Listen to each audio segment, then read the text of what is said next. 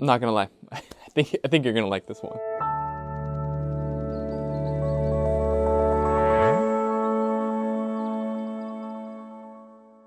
Hey, I'm Father Mark Mary with Franciscan Friars of the Renewal, and this is Ascension Presents. Uh, Lent is coming in a couple days. Today, uh, we're going to talk about the waters of the Jordan, the Lord's baptism, its connection uh, to the desert, and then what the church proposes to us for Lent, this increased time of prayer, uh, fasting, and almsgiving. We want to begin by looking and, and seeing the connection between Jesus' baptism and then his journey into the desert? And in Matthew's gospel, chapter 3 ends with Jesus being baptized, right? And then the, the heavens are rent open, and the Father speaks these words like, This is my beloved Son, in whom I am well pleased. Then chapter 3 ends.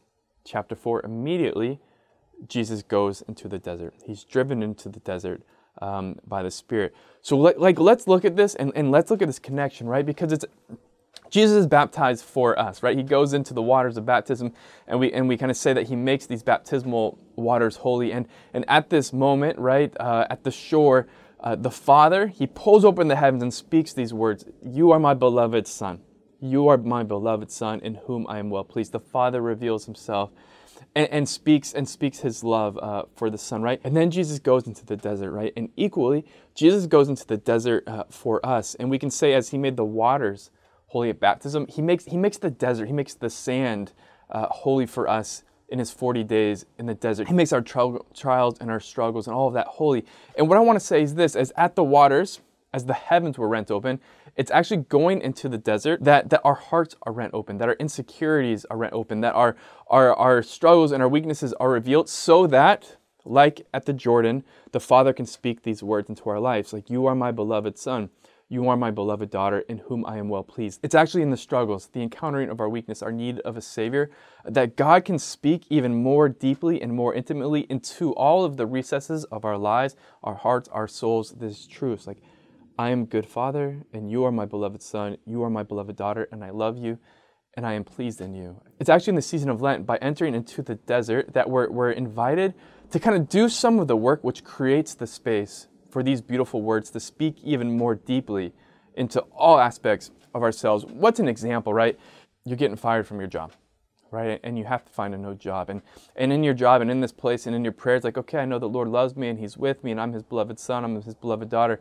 But now, like, now I go into this wilderness. Now I go into this desert of insecurity where now I have to, like, there's this future before me. There's this losing of a job, uh, a need for finding a new job, a need for being dependent and growing in trust again in God in this difficult situation, in rending kind of our control from our future, in rending our, our security from us. Um, as we follow the Lord and we cry out to Him and we allow Him to be provident uh, in our lives, uh, as, as we journey with Him in this new struggle, this new desert, like into this aspect of our life, again, the Lord can speak these words like, I am good, I am Father, you are beloved, I am with you. And so it's, it's in these temptations and these trials and these struggles that the space is created uh, for the Lord to, to speak even more deeply into our hearts. This is a terrible image in some ways, but it's the only one that I have. Like if you're trying to like season like a potato or something like that and you want to get like the salt and the butter and all of that deep inside of it when you're baking it, like you like stab it a bunch with a fork, right?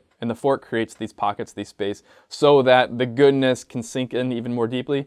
And in a certain sense, in a certain sense, not a very analogous sense, but in a certain sense, uh, by going into the desert, uh, in our Lenten practices, like we're kind of poking these holes in these different areas of our lives and of our hearts so that the, the goodness of our belovedness and his fatherhood can speak even more deeply into our hearts. All right, so let's now relate this to prayer, fasting, almsgiving. I propose, I propose that like when the church invites us to pray uh, and to a deepen prayer uh, during Lent, it's like the Lord wants us to do this, this holy violence to our schedules. Like there's a holy violence done to the heavens at the Jordan. There's a holy violence that's done as Jesus goes in, into the wilderness. And, and the Lord wants us to do to rend our schedule, to rend our schedule. It's going to hurt. There's going to be a sacrifice. There's going to be a pain, but to create space so that the Lord can speak even more deeply into the silence, right? To step away from the control and the comfort and maybe the, some of the insecurity that going into kind of quiet might bring with it so that the Lord, as he says in Hosea, like I, am going to draw her into the desert and speak tenderly to her heart, like by by doing this little violence, by rending our schedules, the Lord can speak tenderly to our hearts. Fasting, like fasting, there's there's like a holy violence of fasting that we're asked to do against kind of our own our own bodies, our own uh, desires, our own kind of security again that we can find in food by fasting an appropriate amount, and we'll qualify that uh, before we end. Um, it can create space again to be more dependent on the Lord, to encounter our weakness, and to have this experience like, Lord, I can't even give up this little thing for this day. Lord, speak your truth, speak your love uh, into my heart here. So, so we do this little violence uh, to our bodies. We rend kind of our our diet so that the Lord can speak tenderly uh, to our hearts, right? And then almsgiving. And almsgiving, right, is this again? It's like this this holy violence to our checkbooks, essentially to our kind of selfish approach to life that we've accumulated these things and we want to use them for our own pleasure or our own enjoyment.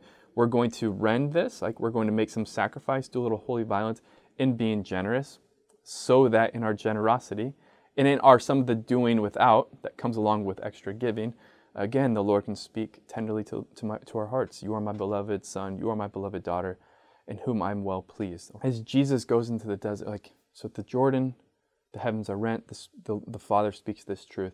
As we go into the desert and as we as we rend our, our schedules, as we as we rend kind of our diets and our uh, and our, our checkbooks, this is going to create some of the space so that the truth and the goodness of the Father's love and our identity can, can speak even more deeply into our very lives.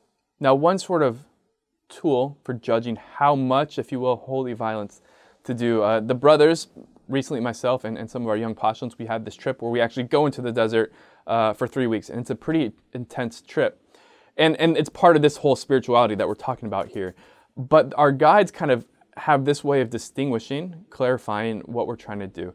Like they talk about this comfort zone, the challenge zone, and then the panic or the crisis zone, right? And so rendering our schedules and our diets and, and our checkbooks, like we don't want to just be in the comfort zone. Like we want there to be a little pinch we want there to be this challenge, right? So we want to enter into this challenge zone, but but right without going into this panic or crisis area. Like, so you want to find this sweet spot. In particular, um, when it comes to dealing with giving up food, right? If it's if it's more than giving up a, like a particular kind of extra, like I'm going to give up soda or alcohol or sweets. If it's a specific really cut back on on overall calories, I'm really going to encourage you to, at the very least, speak to one other mature adult to make sure they hear about it. Um, ideally, it's a trusted priest because again, like in that area, especially, like we don't want to go into this the panic or or the crisis area, but we do. We are still encouraged to enter into uh, into the challenge. So, my brothers and sisters, this is what it's about, right? We're going into Lent,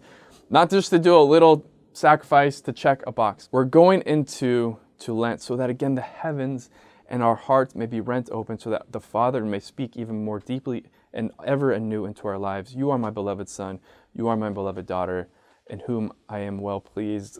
Looking forward to making this Lenten journey with you. More to come on Lent. God bless you all. Thank you for watching. Look forward to being with you all again, again next week. Remember, we are pilgrims on this earth. Somos peregrinos, poco a poco, little by little. Vamos a llegar. We're going to make it. Peace. God bless y'all.